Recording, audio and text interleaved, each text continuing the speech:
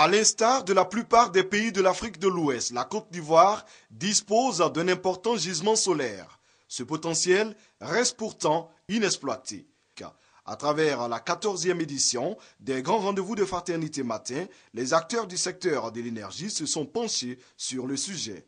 Énergie renouvelable et efficacité énergétique en Côte d'Ivoire, un potentiel à valoriser, thème de cette rencontre a été développé par deux conférenciers.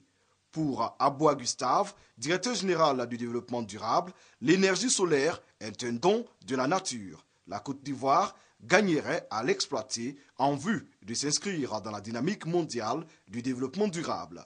Nous invitons la société civile, nous invitons le privé, également les partenaires au développement à nous accompagner dans cette lourde tâche et noble, car sans énergie dans le milieu rural, il n'y aura pas de développement durable, il n'y aura pas d'émergence.